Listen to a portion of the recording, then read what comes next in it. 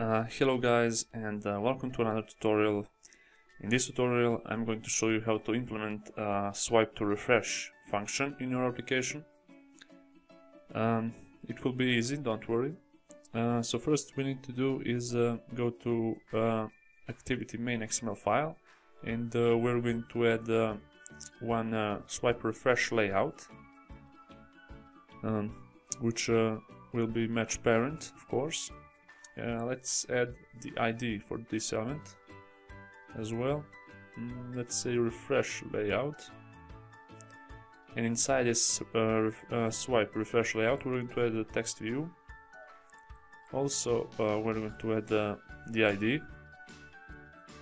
And we're going to change uh, the text, we'll say 0. The text color and the text size as well. Okay, and let's check it out. Okay, uh, we need to add the gravity as well on the center.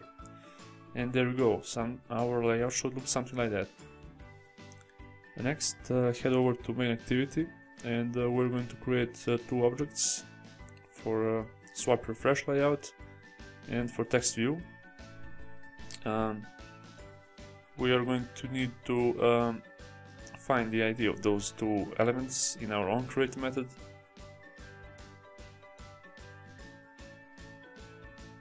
Like that, and one more. Okay. Uh, so the next thing we need to do is create an integer variable, uh, which, be, which will be zero and next we're going to uh, use our refresh layout uh, object and use it uh, set on refresh listener. We're going to pass one parameter uh, refresh listener. And uh, in on refresh method we're going to uh, increment the number for by one. And we're going to change the text view to this number.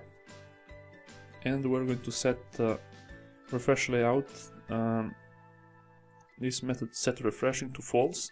It uh, this is very important because if you don't uh, if you don't set this to false, uh, you're going to see uh, an infinite uh, refreshing. You'll see now. So let's start our application.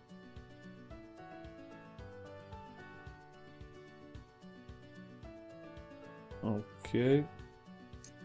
Uh, so we've got an error uh, it's because uh, I forgot to uh, I forgot to uh, switch or uh, change our integer to string. So we're going to use string value of and we're going to pass this integer. And now let's uh, run the app again.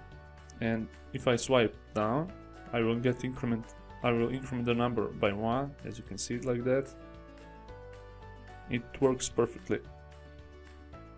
And it's easy to implement. And uh, if we comment out this line of code and run the app again let me show you what will happen. When we swipe down uh, this uh, animation will uh, stay here and won't disappear. And that's why we need to uh, set refreshing to false. Always. Just remember that. Uh, thank you for watching. That was it for this video. Uh, please subscribe to my channel if you haven't already and uh, see ya.